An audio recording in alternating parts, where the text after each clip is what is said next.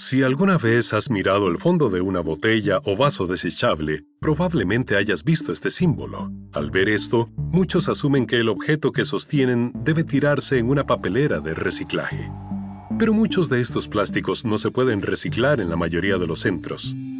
De hecho, de los 360 millones de toneladas de plástico creados en el mundo cada año, solo se recicla un 9%. Entonces, ¿por qué se reciclan tan pocos plásticos? ¿Y qué significan en realidad estos códigos? Nuestro problema de reciclaje tiene varios niveles y comienza la producción. Alrededor del 18% de los plásticos están hechos de polímeros termoestables. Estos plásticos adquieren estabilidad mediante el curado, un proceso que endurece un material entrecruzando irreversiblemente sus cadenas moleculares. Las mismas propiedades que hacen a los plásticos termoestables tan útiles, en que mantienen su forma e integridad en condiciones extremas, significa que no pueden ser descompuestos ni reconstruidos por la gran mayoría de las plantas de reciclaje.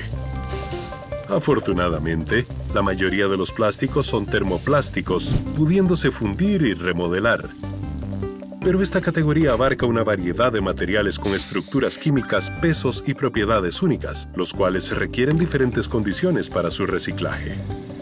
Como resultado, solo algunos de estos termoplásticos son aceptados en la mayoría de las plantas de reciclaje, lo que nos lleva a nuestro siguiente problema, el confuso sistema de códigos. Desarrollado e introducido por la industria del plástico en 1988, este código se presentó como una forma de ayudar a consumidores e instalaciones a clasificar su basura. Cada número indica el material del que está hecho el plástico, conocido como su resina.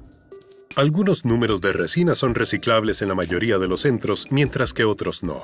Y sin embargo, en este sistema, todos los números están rodeados por el conocido símbolo de reciclaje, lo que lleva a los consumidores a pensar que plásticos que no pueden recuperarse tienen la oportunidad de una segunda vida. Y solo porque una resina reciclable llegue a una papelera de reciclaje no significa que pueda continuar su viaje. Los plásticos contienen varias resinas, están mezclados con colorantes y aditivos o pegados con adhesivos y etiquetas difíciles de quitar, lo cual puede provocar que sean desviados al incinerador o al contenedor de basura. En resumen, muchas empresas no diseñan los embalajes pensando en la recuperación. Incluso en condiciones impecables, las resinas solo se pueden fundir y remodelar unas cuantas veces, ya que sus polímeros se degradan en cada uso. Si todos estos problemas te hacen sentir que reciclar plásticos es imposible, no serías el primero. Esta realidad era bien conocida por la industria del plástico ya en los años 70. A pesar de sus dudas de que el reciclaje generalizado fuese económicamente viable, la industria invirtió millones de dólares en campañas publicitarias. En Estados Unidos, la industria del plástico presionó a los gobiernos estatales, lo que llevó a la mayoría a adoptar leyes para que los plásticos estuvieran sujetos a los confusos códigos de resinas. Y con ello la carga de solucionar el problema de los residuos plásticos pasó de la industria a los consumidores.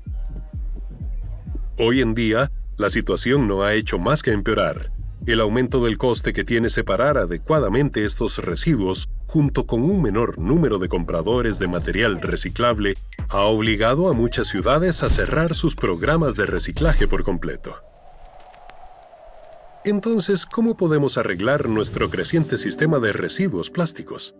Está claro que debemos reducir los plásticos que consumimos.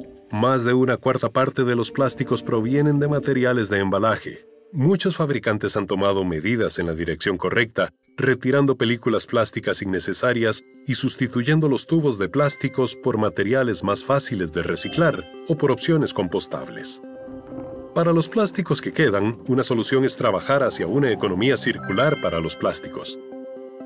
Esto significa crear menos plástico nuevo, eliminar aquellos de un solo uso y garantizar que los plásticos restantes sigan circulando mediante el reciclaje.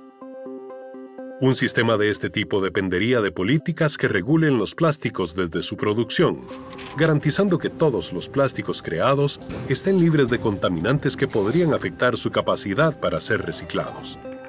Mientras tanto, los expertos creen que el sistema actual de códigos de resinas debe eliminarse y cambiarse por etiquetas más claras y fáciles de reciclar en vez de etiquetas no reciclables. Esto ayudaría a clasificar residuos con mayor facilidad y lo más importante, permitiría que los consumidores tomen decisiones informadas al comprar, lo que hará que la presión vuelva a los productores para garantizar un futuro reciclable.